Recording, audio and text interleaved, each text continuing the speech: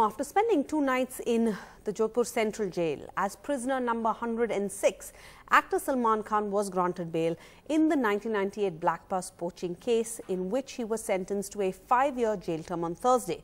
Salman Khan was found guilty of shooting two black bucks in Rajasthan's Bishnoi territory, a species of deer protected by India's Wildlife Act and revered by the community as sacred. The court gave him bail on a personal bail bond of 50,000 rupees and two sureties of 25,000 rupees each. He cannot leave the country without the permission of the court. The next date of the hearing is going to be the 7th of May as the case goes into appeal.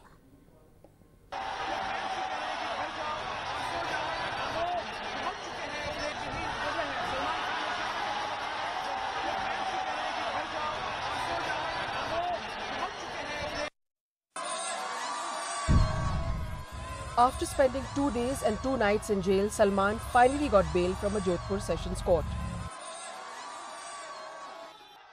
Salman को पचास हज़ार रूपए की जमानत और पच्चीस पच्चीस हज़ार रूपए के दो मुचलकों पर रिहा करने का आदेश दिया। ये कंडीशन रखी है कि विदेश जाएँगे तो अनुमति लेकर जाएँगे। नेक्स्ट हियरिंग सात मई 2018 को है।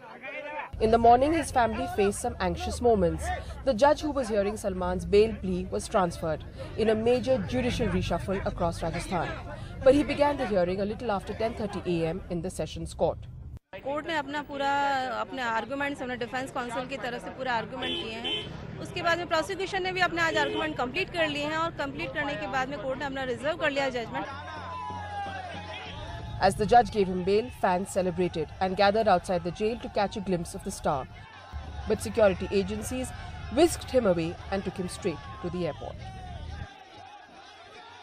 Five years conviction and bail after two days. It was no less than an action-packed thriller for actor Salman Khan as he faces charges in a 20-year-old black buck poaching case.